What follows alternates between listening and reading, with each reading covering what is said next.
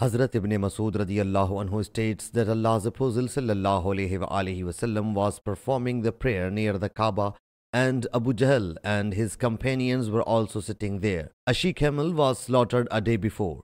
Abu Jahl said, Who amongst you will go and fetch the tribe of the she camel slaughtered in such and such locality and put it on the shoulders of Muhammad sallallahu alayhi wasallam when he will perform prostration?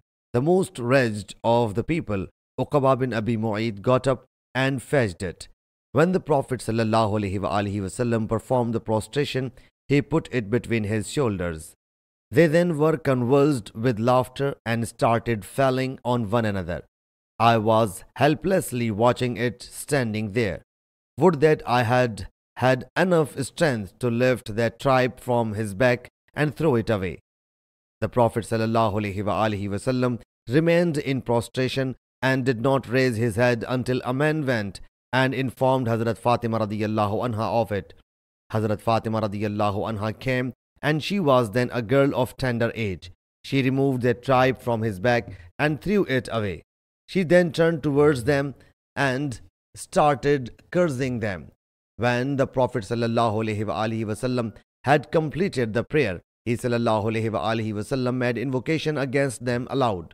Whenever he وسلم, would make an invocation, he وسلم, would make it thrice.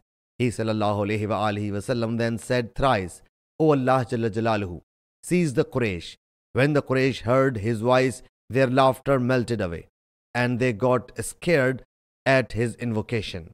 He وسلم, then invoked, O Allah Jalla Jalaluhu, seize Abu Jahl bin Hisham, Utbah bin Rabia, Shayba bin Rabia, Walid bin Uqaba, Umayyah bin Khalaf, and Uqaba bin Abi Mu'ayt. The reporter says that the Prophet ﷺ also uttered the name of the seventh person, but I have forgotten it.